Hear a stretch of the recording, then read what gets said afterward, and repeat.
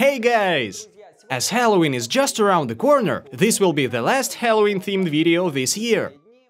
And of course, there's no Halloween without a pumpkin. By the way, namely, the fire pumpkin is the symbol of Halloween. You can easily find the tale of Jack-o'-lantern on the web. And actually, the legend is very interesting.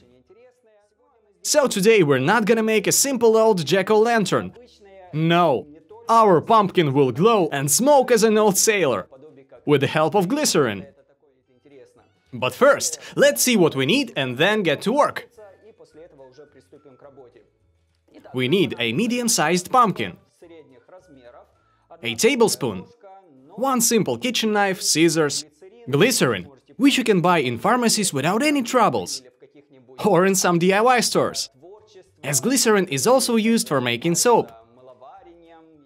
We also need a lighter, a candle and a tin can. Firstly, we have to cut out the lid, and then take all the insides out with a tablespoon.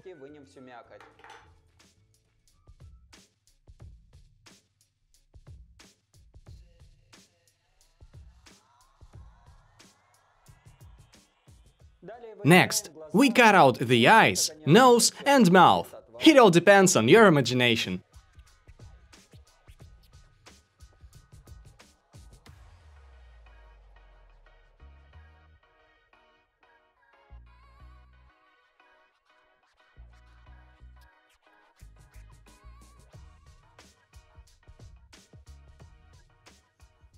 Now we have such a cute little monster.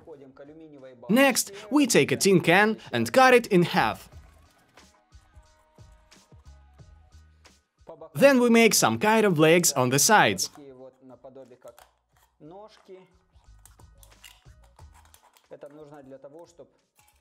We do it to make some airflow for the candle.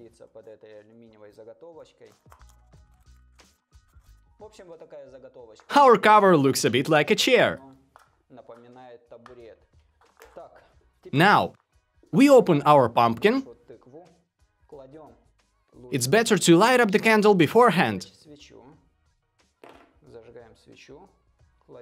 Put it inside and cover it. We should get something like this. Pour some glycerin into the cavity. Glycerin is non-toxic. I even saw it being used as an additive for hookahs to provide more smoke.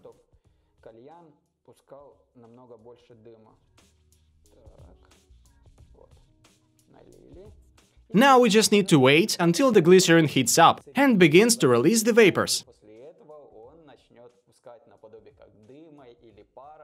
So, let's turn down the lights and see what we've got.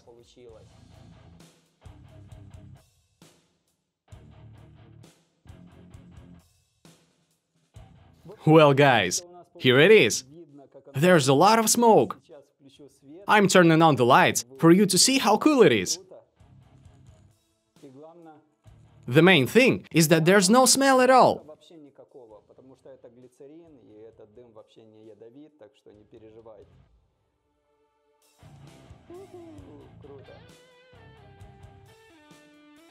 That's all. Thank you all for your attention subscribe to the channel, leave comments, and I'll of course read and answer. See you in the next video. Did you know? In 1974, an 8-year-old boy, Timothy O'Bryan, died of cyanide poisoning after eating a candy on Halloween.